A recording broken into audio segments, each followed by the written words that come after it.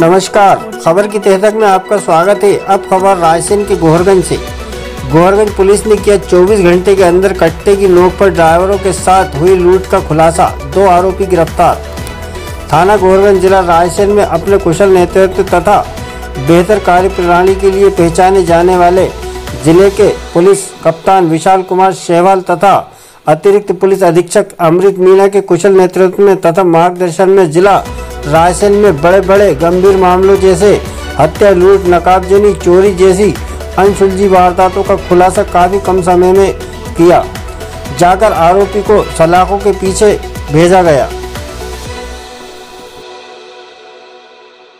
उनके एक फरियादी ने थाना गौहरगंज में आके रिपोर्ट दर्ज कराई थी कि वो मुर्गा मुर्गी का व्यवसाय करता, अपनी स्वराज माजदा गाड़ी से भोपाल और हरदा मुर्गे लेके गया था और वापस मुर्गे खाली करके जबलपुर की ओर लौट रहे थे। रात में करीब डेढ़ से दो बजे के आसपास हाईवे पे चौंतीस मील के पास में दो लोग आए। उन्होंने अपनी कार, इनकी गाड़ी के आगे फंसा दी और फिर इनकी गाड़ी रुकने के पास दोनों ने, जो ड्राइवर है दिनेश विश्वकर्मा और उसके साथी स्वरूप को पकड़ लिया। उनके सर पे कट्टे जैसी कोई चीज़ अड़ा दी और कहा कि जो भी रुपए पैसे हैं तुम्हारे पास वो हमें दे दो और उनके पास से करीब रखे हुए चौवन सौ रुपए उनके दो मोबाइल और कुछ कागजात लेकर लूट करके चले गए। ये रिपोर्ट पे से थाना गौरगंज में लूट का अपराध पंजीबद्ध किया गया था।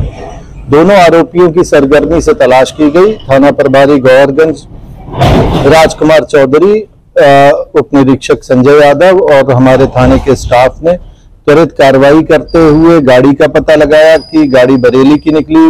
उसके मालिक से पूछताछ करने पे पता चला कि एक आरोपी जो पकड़ में गिरफ़्तार हुआ वकील नाम का, वो उनकी गाड़ी को किराए से लेके गया था।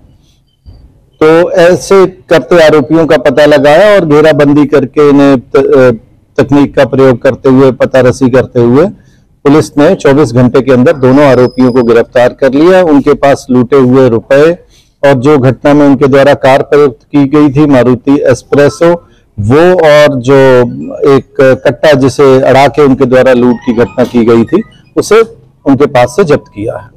इनसे पूछताछ की जा रही है, अभी आज इन्हें न्यायालय पेश किया जाएगा और पहले भी चूँकि जो वकील है, अभी कुछ दिन पहले ही, तीन दिन पहले जेल से छूटा तीन सौ चौवन के एक मामले में पंजीबद्ध हुआ था इसके विरुद्ध और ये दोनों आरोपी इससे पहले भी गौहरगंज में एक मारपीट के मामले में गिरफ़्तार हो चुके हैं तो पूरा, पुराना आपराधिक रिकॉर्ड भी इन आरोपियों का है।